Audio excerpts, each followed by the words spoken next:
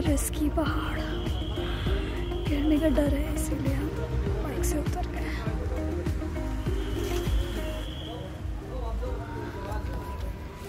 आगे भी बहुत जाम है।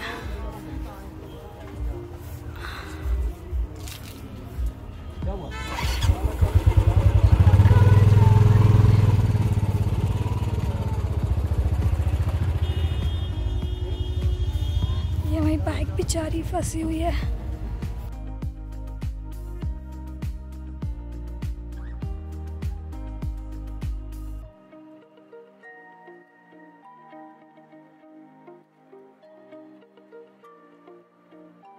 मुखर्जी करके एक टनल थी, वो क्रॉस करिए।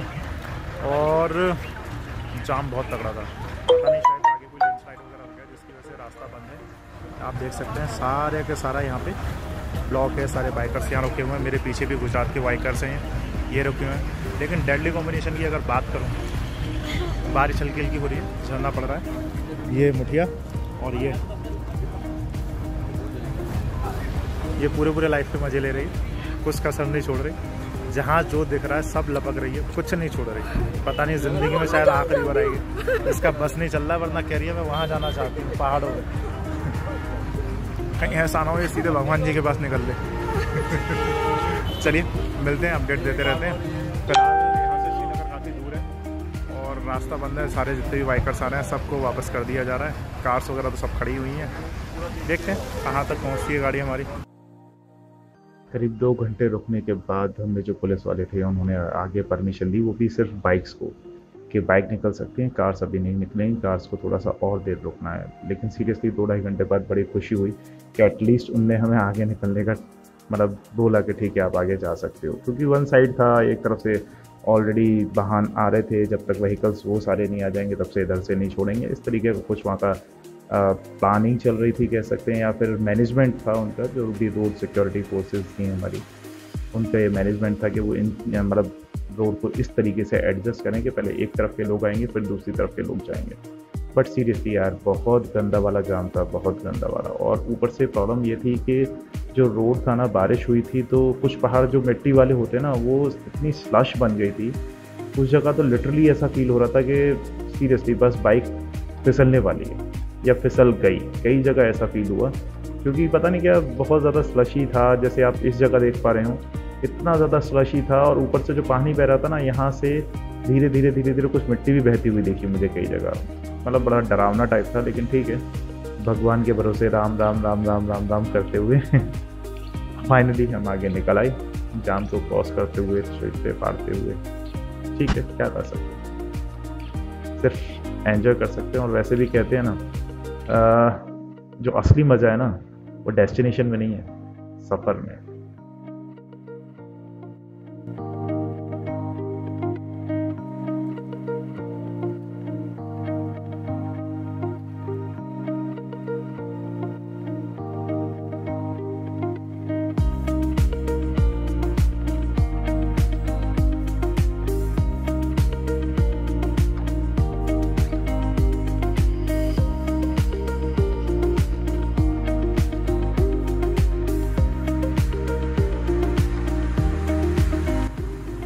इसलिए ऐसा लगता था कि शायद इंडिया के हाथ में कोई एक जादुई मशीन लग गई है जिससे टनल्स बना सकते हैं बहुत ईजीली मतलब इतनी सारी टनल्स थी, बस पूछो मत।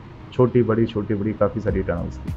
और मुझे ऐसा लगा कि जैसे मैं सन दो में पहले भी गया हूँ, सन दो के बाद अब जब टनल्स ही टनल्स थी बेशुमार तो ऐसा लगा कि शायद वो जो पहले वाला जो रोमांच था ना, जिसके लिए लोग वहाँ जाते थे लद्दाख राइड पे, जो स्ट्रगल थी, जो मतलब जो झारूपन था, जो चीज़ों से लड़ना, भिड़ना, गिरना, टूटना, फिरना, फिर उठ के खड़े हो जाना, फिर दोबारा चलना, लोगों की हेल्प लेना। मतलब वो जो मज़ा था ना, वो मज़ा अब सीरियसली ऐसा लग रहा था कि बहुत कम हो गया है, पता नहीं क्यों। लेकिन अंदर से ऐसी फीलिंग आ रही थी कि ऑब्वियसली ये टनल्स ने बहुत हेल्प करी है। मतलब हम तो चलो ठीक है, साल, दो साल, दस साल में एक बार जा रहे हैं। बट उन लोगों की जो वहाँ डेली रहते हैं डेली आते जाते हैं वहाँ से, उन लोगों के लिए नो डाउट बहुत हेल्पफुल हैं ये टनल्स बट अंदर से ये फीलिंग हो रही थी कि जो पहले जो एक टफनेस थी ना लद्दाख राइड की, अब वो टफनेस नहीं रही। अब ऐसा लगता है कि ठीक है यार, चाहे जब मुँह उठा के आ जाओ। नॉर्मली तो रोड बन गए, सब बढ़िया टनाटा ठीक है, क्या कर सकते हैं सिर्फ़ आई एन्जॉय के फिर भी, लेकिन अभी भी बहुत कुछ ऐसा है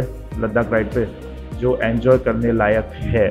सीरियसली अभी भी ऐसा बहुत कुछ है जो एंजॉय करने लायक है। और मैं ये नहीं कहूँगा कि सारी चीज़ें चेंज हो गई हैं, लेकिन हाँ काफ़ी सारी चीज़ें चेंज हो गई सन दो से अब में अगर देखा जाए तो कंस्ट्रक्शन हर जगह चल रहा है, कोई ऐसी जगह नहीं है जहाँ कंस्ट्रक्शन ना चल रहा हो, इस पूरे रूट पे। बेसिकली जस्ट बिकॉज़ ऑफ़ ये बॉर्डर सिक्योरिटी रोड है, सारी की सारी बॉर्डर वगैरह हैं मतलब बॉर्डर के आसपास वाले रोड हैं ये, और प्लस क्या है कि हाईली डिमांडेबल रोड है, एक तरीके से देखा जाए तो क्योंकि अगर आपको जम्मू एंड कश्मीर जाना है तो इसी रूट से होके जाना, कोई दूसरा रूट है भी नहीं, चाहे वो आर्मी जाए या आप कोई एक आम आम नागरिक नागरिक जाए। वो जाएगा इसी रूट से होके। तो ऑब्वियसली हाई डिमांडेड रोड है और सच बताऊँ तो कंस्ट्रक्शन काफ़ी अच्छा चल रहा है। पहले से बहुत ज़्यादा चल रहा है। पहले से बहुत सारी चीज़ें बदल गई हैं। जो रोड बहुत ज़्यादा बस से बदतर हालत कंडीशन थी, अब वो रोड इतने मक्खन मलाई रोड हो गए हैं कि आप सुकून से बैठ के सोते हुए अपनी कार में जा सकते हैं। लेकिन चलिए, फ़िलहाल एंजॉय करते हैं राइड को और आप देखिए बेहतरीन सा एक टाइम लैप एक और बड़ा खूबसूरत सा एक ब्रिज छोटा सा।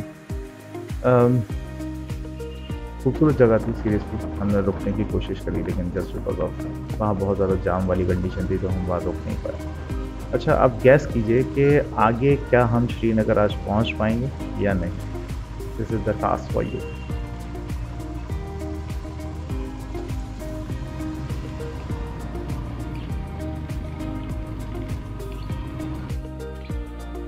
security checking थी बेसिकली वहाँ पे अपनी कॉमन डिटेल्स देनी होती है, जैसे कि कितने लोग हैं, आप क्या नाम है, आपका आधार कार्ड कौन सा मतलब आधार कार्ड का नंबर और कितने लोग हैं, किसके साथ हैं, आपका बाइक का नंबर ये बेसिक डिटेल्स हैं जो आपको देनी होती है, जिससे कि अगर ना, भगवान ना करे कोई प्रॉब्लम होती है आपको तो कम से कम आर्मी पता लगा सके कि आप कौन सी जगह क्रॉस कर चुके हैं और किस जगह हैं अभी।